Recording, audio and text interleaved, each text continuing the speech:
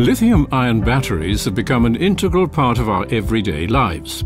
High energy efficiency, long service life and fast opportunity charging are just a few of the features that make this technology extremely interesting for the material handling sector.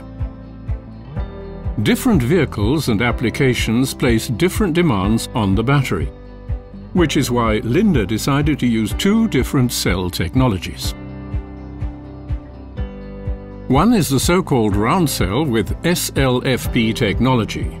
Round cells have established themselves on the market for years as a very reliable energy source. On the other hand, the prismatic NMC cell. This technology proves to be particularly hard-wearing in extreme environments, whether in a cold store at minus 35 degrees Celsius or in very hot environments of up to 60 degrees Celsius ambient temperature. But what does a lithium-ion battery look like in detail? Lithium-ion batteries are the energy storage for electrical vehicles of today. The chemical composition determines the range and charging time of the vehicles. Conductive layers such as aluminium on one side and copper on the other ensure that the current quickly reaches the battery cell, thus ensuring a powerful drive of the vehicle. Between the metal layers is a positive electrode, the cathode, made of pure lithium metal oxide, and a negative electrode, the anode, made of graphite, i.e. carbon. Lithium ions are passive. They move only with a transport medium, preferably an anhydrous electrolyte. Internal short circuits are fatal for lithium-ion batteries. For this reason, plus and minus poles are strictly separated. The separator is the ideal protective wall. Only the tiny lithium ions can overcome it. They move between cathode and anode to charge and discharge the battery.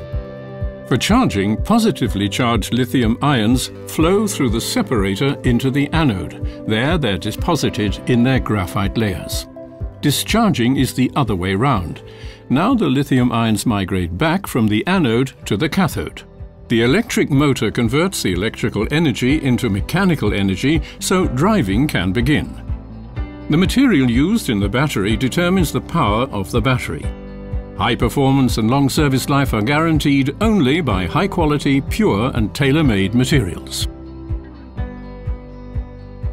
To get the necessary energy back into the cells in a very short time, a perfect match between battery and charger is necessary. The interaction between charger and battery takes place via CAN communication, which guarantees clean, fast and safe charging. This allows short idle periods to be used efficiently, and additional travel time of up to 60 minutes can be generated in just 10 minutes. This had the significant advantage that the time-consuming battery change is no longer necessary.